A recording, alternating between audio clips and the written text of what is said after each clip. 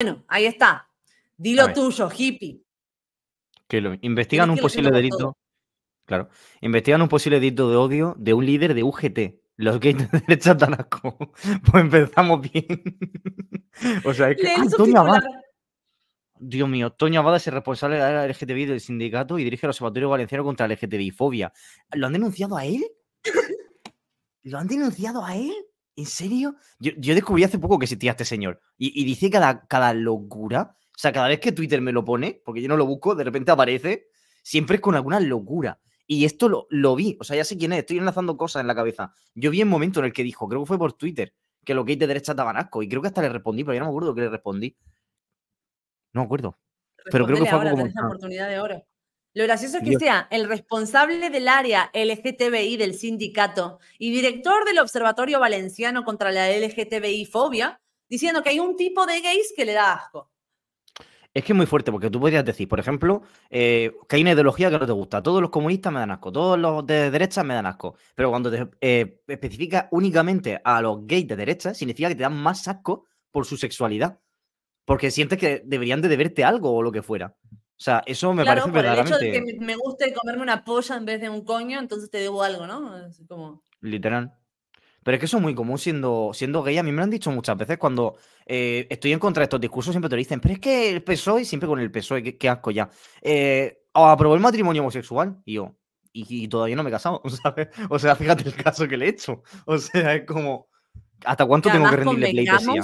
Convengamos que lo aprobó el PSOE porque era el PSOE quien estaba al mando en ese momento histórico, porque convengamos que eso mm. hubiera sido otro, hubiera sido el PP, hubiera sido el PP el que lo legalizara y lo aprobara, porque era el momento donde en general, en conjunto como sociedad, en Occidente, hemos ido eh, aprobando esto.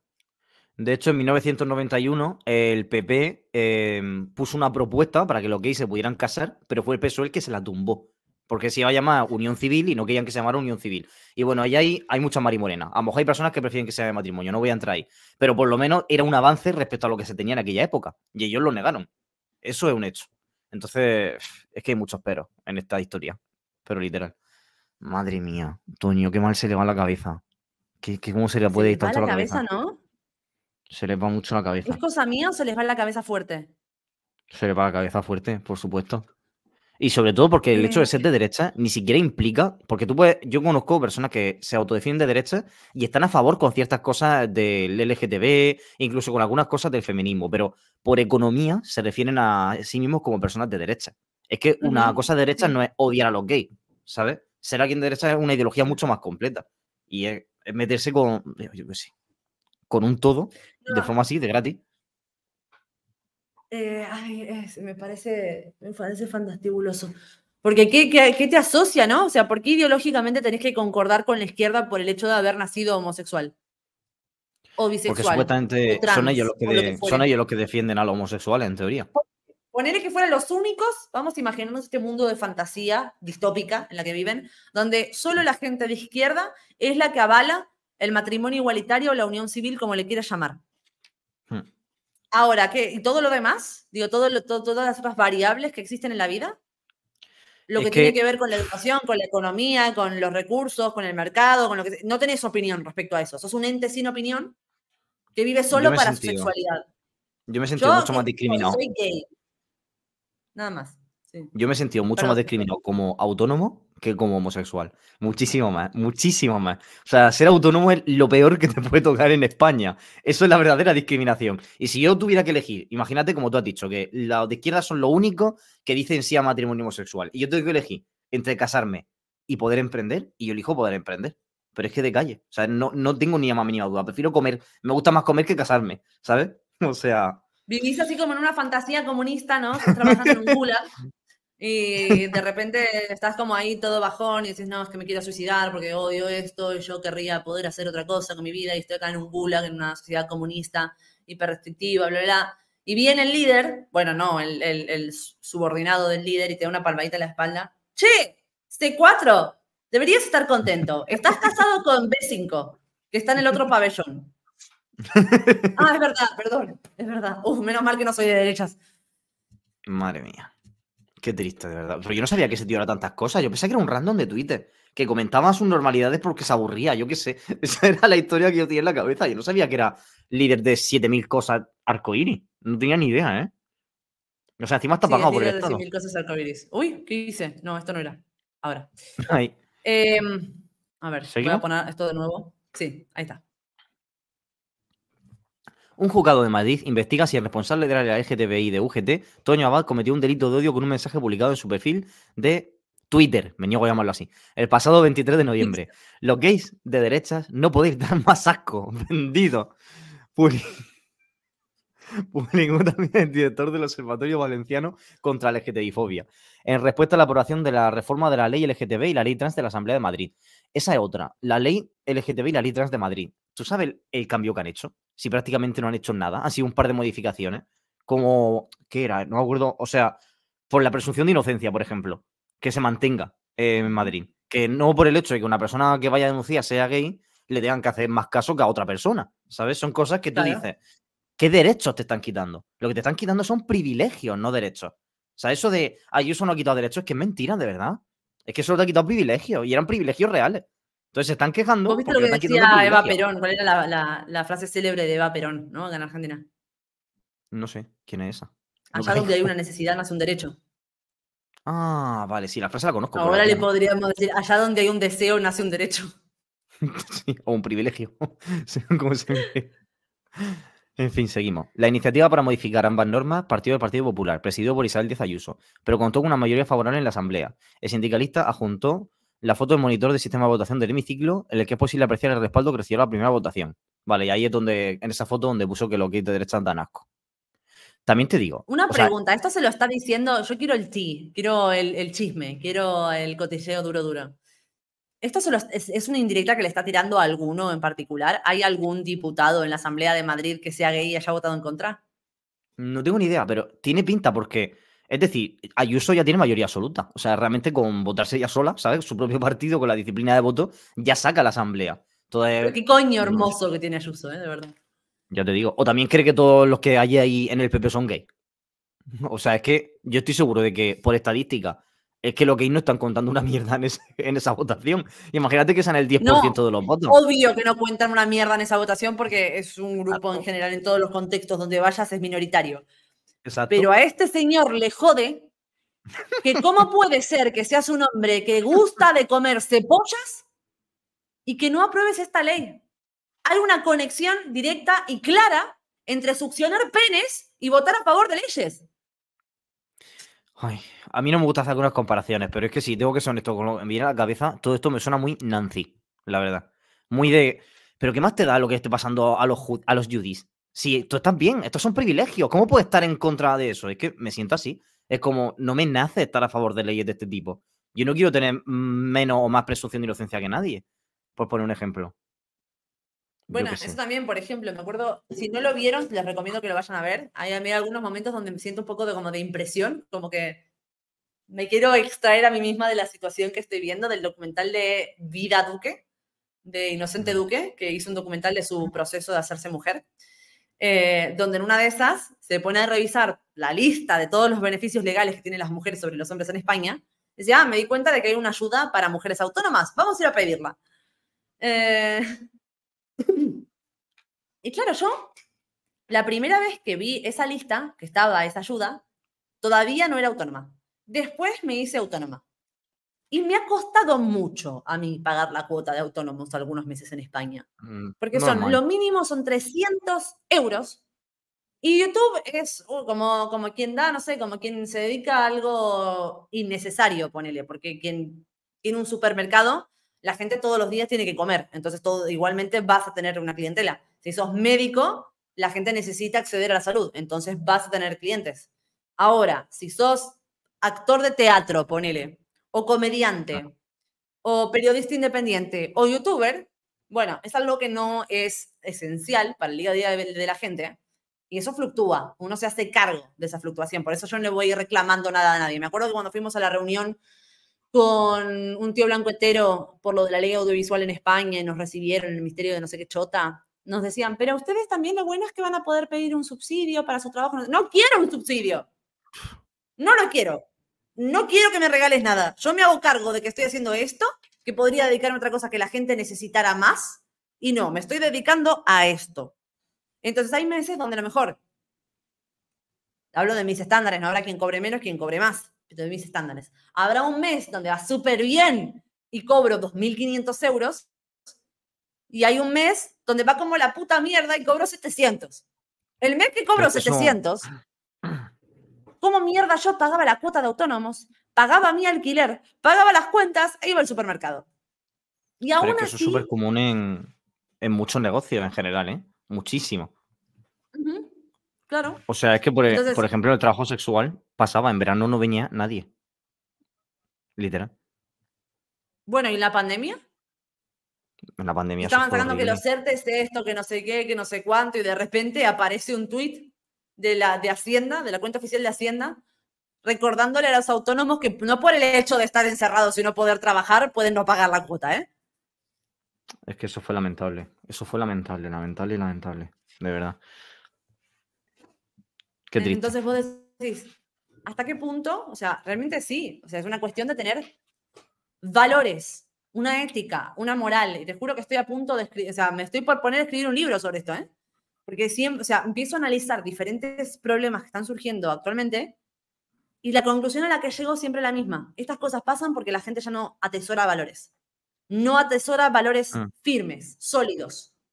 Los valores son una cosa intercambiable que según la circunstancia podés desdeñar o incluso reemplazar.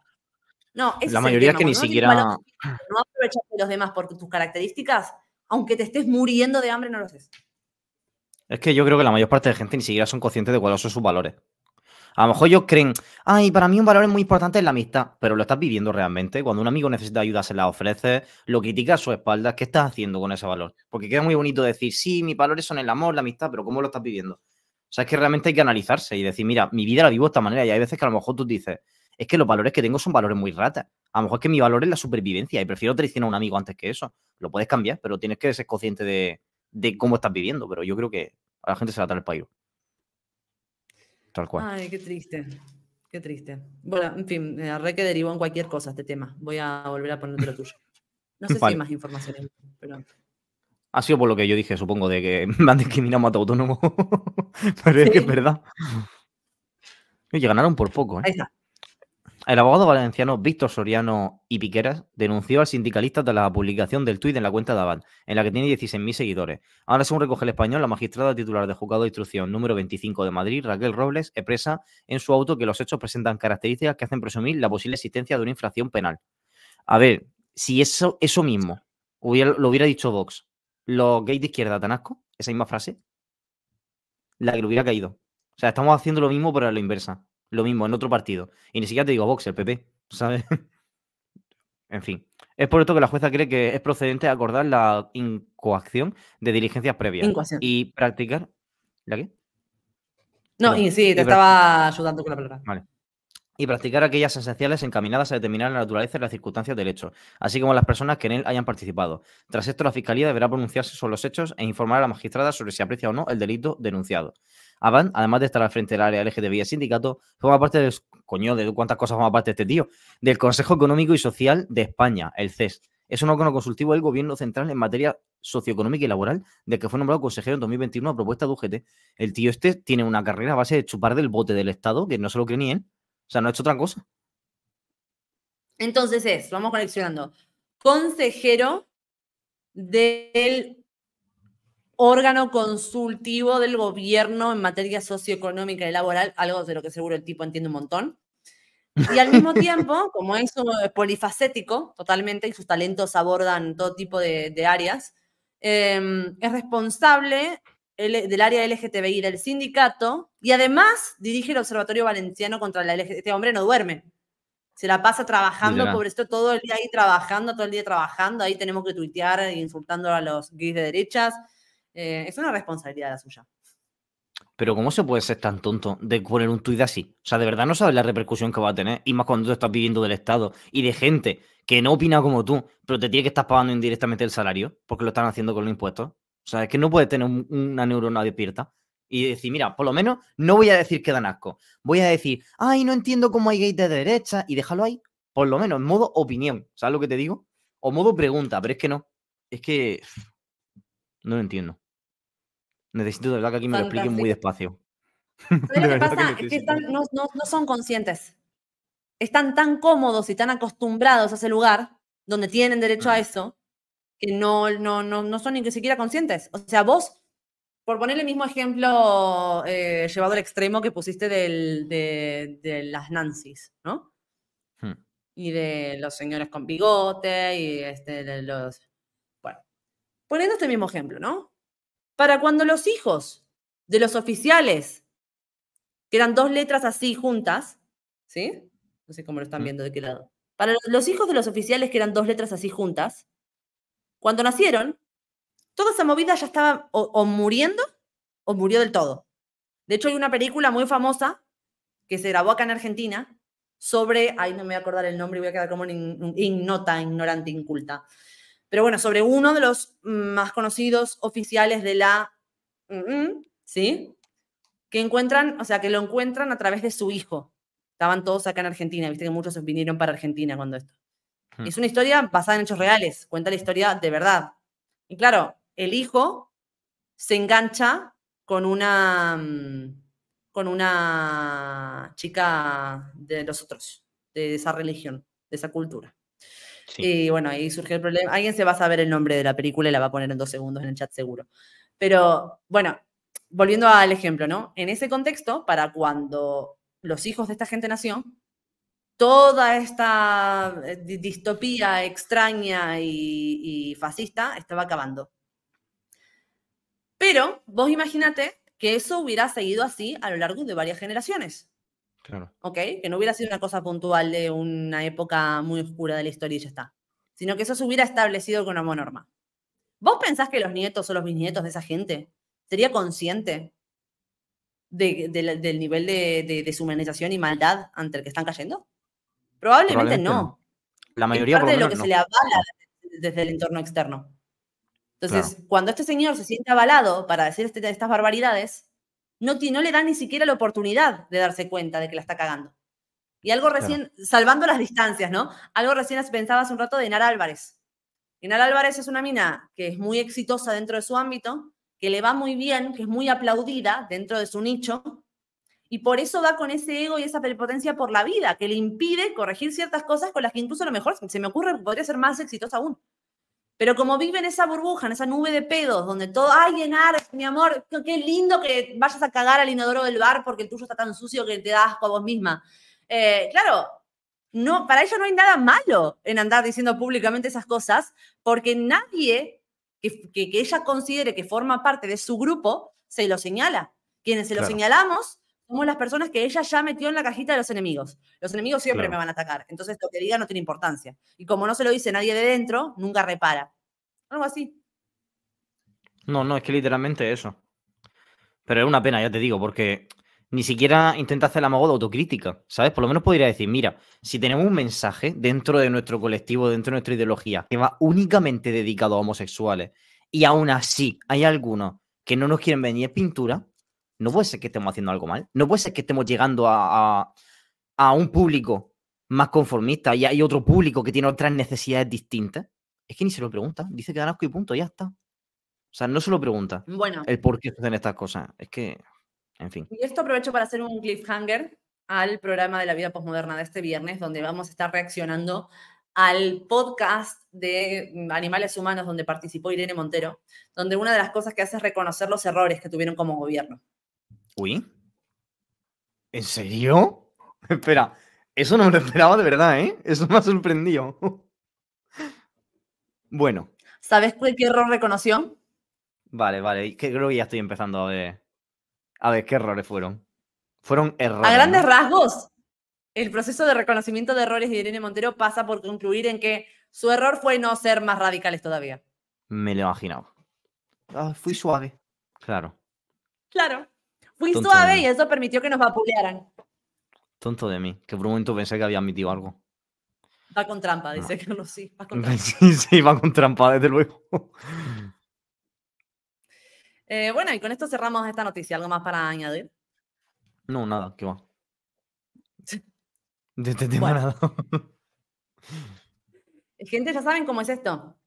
Si no dejan